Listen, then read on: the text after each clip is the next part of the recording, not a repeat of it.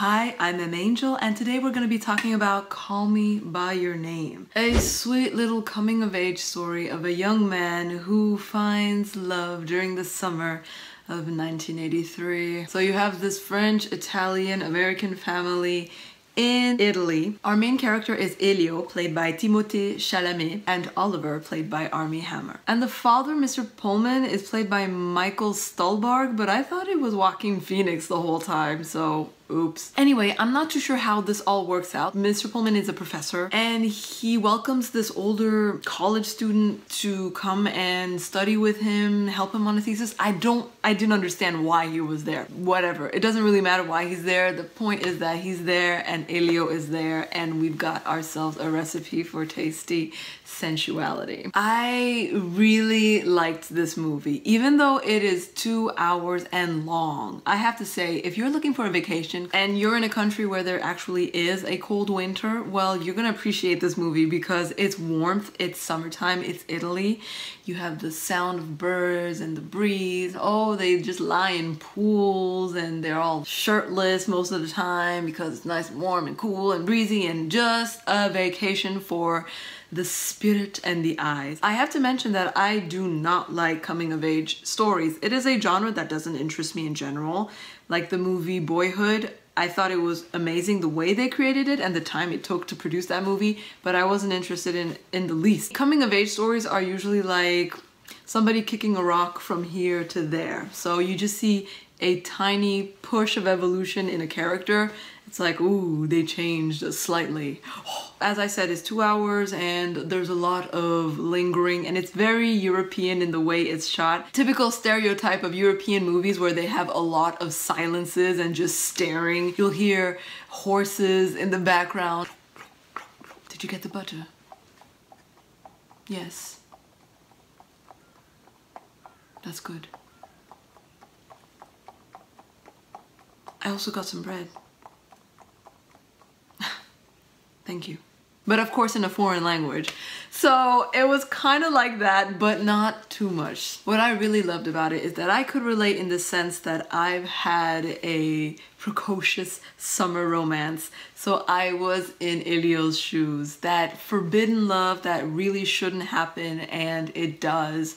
Oh, it brought me back. It's always best when that summer romance happens when you're in a foreign country or at summer camp or somewhere else. The people involved in the romance know that it's temporary and for some reason the bubble you're in makes everything feel 10 times more intense and important and you feel like this is where your life stops. Young puppy love during the summer. It's an experience unlike any other and still to this day as much as I know it was wrong in so many ways and melodramatic in so many ways, I'm so thankful I had it. And I could see that with Elio. I felt for him and everything he went through. I thought it was kind of convenient that Elio and Oliver shared a bathroom. I really thought that would be a plot point and it would be used a lot, but it wasn't. You know what was used a lot? That apricot tree. I loved the scene where everyone's gathered and they talk about apricots and the etymology of the word. Who knew that etymology could be so dirty? Talking about how apricot is like Greek stealing from the Latin and it's all about precocious, you know, mm -hmm, unripened, not ripe yet, precocia, and then it becomes albacoque. Mm-hmm. Etymology, my apricot, all that cooktok. Armie Hammer to me will always be the Winklevoss, you know, just alpha male. He's such a man with his voice. And he's so alpha in this movie and strong and complicated. And I love the contrast with Elio uh, which I love that name by the way because when his father called out for him I thought he was like hey yo like how do you gonna call your child hey yo Elio's like lanky and skinny and kind of scrawny and he's not completely ripened he's an apricot mm -hmm. so yeah they showed that tree a lot apricot tree and I guess it was supposed to be symbolic the ripening of the apricots during the summer and how it goes from being so frail into juicy ripe and ready to be squished But it's the kind of thing that in a book, yes, symbolism, we're more used to it. But in a movie, it's kind of heavy handed. There are so many dynamics in this movie, layers that actually make it interesting. Elio is 17. I think he mentions it in the movie. I'm not sure exactly how old Oliver is. I think he's in his 20s, mid 20s maybe. So we've also got that dynamic going on of a younger man lusting for an older man. For me, love and romantic movies, there has to be dialogue. That's how I see two characters falling for each other is when they have this witty banter and they connect and they click on a verbal scale. And we have these intellectuals here, and I thought, oh, okay, he's gonna use his graduate words to seduce Elio, and Elio loves to read, so they're gonna be talking a lot and going back and forth and being all witty and haha, I'm smarter than you. But no, not really. This was way more about lust than it was about love, in my opinion.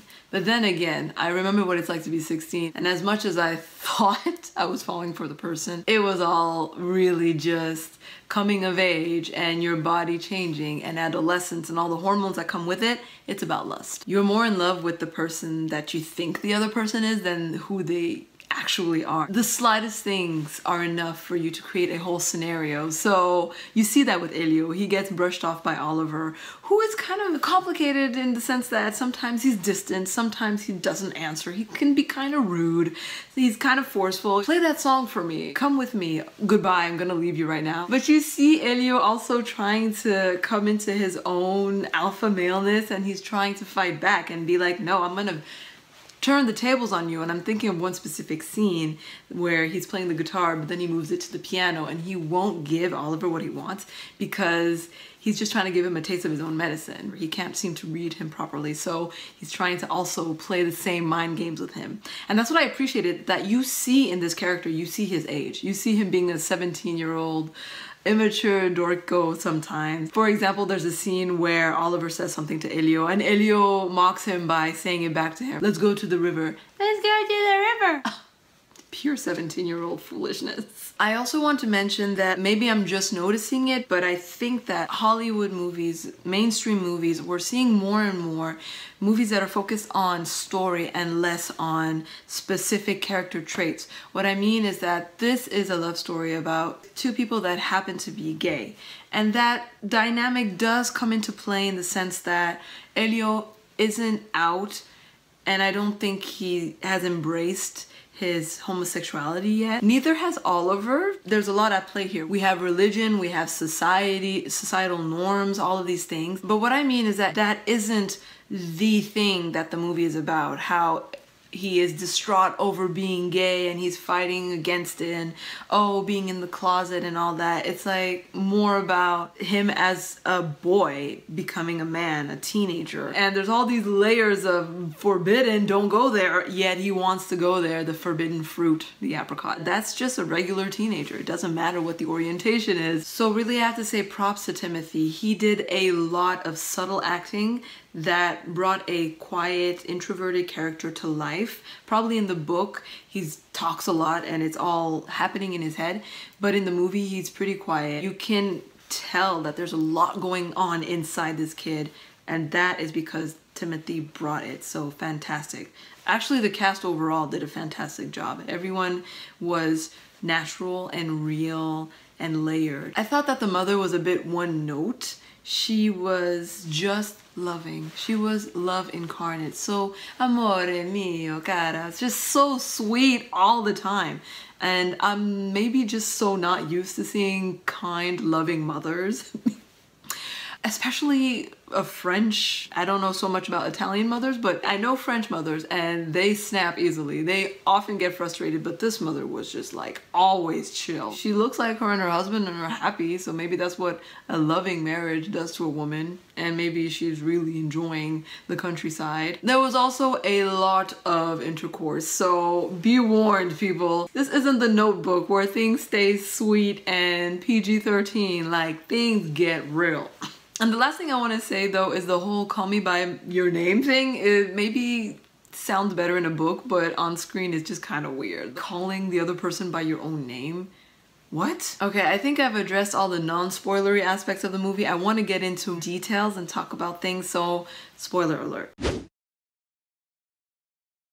Esther Garrel plays Marzia in this movie and she's kind of Elio's beard. He's a young teenager. I appreciate that he isn't perfect because he kind of uses her to release all of the sexual frustration that's building within him because he can't release it with the person he wants to release it with. But I do appreciate that in the end she figured it out. It's just kind of heartbreaking because she really had a crush on him. But that happens, I guess, in a lot of gay kids' lives, right? They're gonna play straight because they kind of feel like they have to. The parents were also they were open-minded and progressive, but at the same time, weren't they a bit pimpish? They kind of pimped Elio out to this older man. Now I know we're talking about European standards, so they have a different notion of what maturity means. They're more free-flowing with sexuality and their son is exploring himself and becoming himself and I guess they're more realistic, right? They're not like, no, you have to be innocent and we want to preserve your innocence, so uh, stay away from this older man isn't it still a parent's job to kind of shelter and protect your kids? I don't know. And the big reveal, if you will, is that Mr. Perlman is also a closeted homosexual. I was like, what is going on? How is everybody gay?